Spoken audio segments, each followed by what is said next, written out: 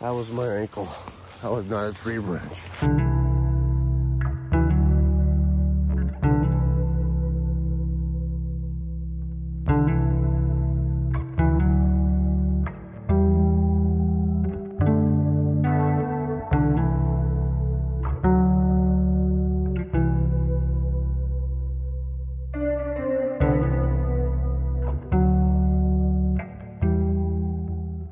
Hey guys, Mountain Lee here with Mud Motors Max.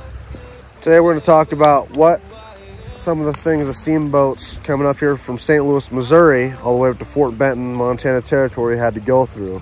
So obviously, guys, they're not able to carry fresh water with them, you know.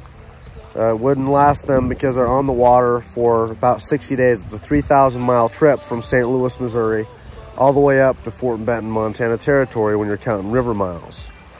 And so they had to use the water that they were in. They had to use the water to put in their boilers for creating steam. They had to use the water for sanitation as far as cooking, maybe even washing yourself, of course. They didn't have showers, but, you know, washing yourself. For serving drinks, the bartender wasn't a big luxurious ship. It's not like one of those Mississippi paddle wheel ships, guys. This is mainly for carrying freight and people getting up there in the Montana Territory kind of what you're dealing with, high sediment rivers. So we'll just show you kind of how much sediment is in these rivers, because of course, there's a spring runoff when they had to be in these rivers. I got a clear bottle here.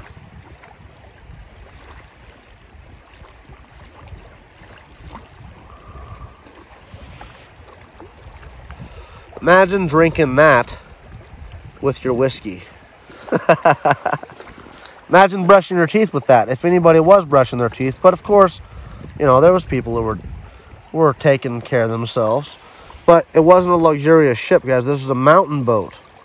It wasn't the luxurious amenities. Normal people who were going up there, they were on the bottom floor with the freight and the livestock and all the and the men. And they they you know, this is what they were dealing with here. So but imagine that, guys. This this water here getting served with your drinks, getting served with your whiskey, getting brushing your teeth, making your coffee in the morning, maybe washing your face, washing your body with a sponge bath, whatever you got to do to keep you and your family clean. It's a 60 day trip. We're talking about two months, 3,000 miles. This was no joke. Guys, this is the next day after letting it settle for a while here. Now, I'm sure they wouldn't just drink this right out of the river unless they were desperate, right? So I'm sure they would let it sit for a while and settle. If you were a mother with her kids, I'm sure you wouldn't want her to just want your kids to be drinking just right out of the river. Here's it just shaking up. Here's that other bottle I just shook up. So there's the river where it's just uh, pulled out. You let it settle for a while, you know, it can probably settle it down a little bit. Give it another week, it might settle it down more. And boiling it is not going to take out the sediment. It'll just clear it of pathogens and of anything that could give you cholera, which did happen sometimes. So just let it settle, I'm sure. She could probably pour it through a cheesecloth too to get her as much filtration as possible, right? I'm sure she ran it through a cheesecloth or something to get as much filter filtration as possible. Or the the bartender was serving drinks was probably not just pouring in their river water. I hope not, just scooping it out of the river, right? Probably let it settle for a while, but see how much sand is at the bottom of that.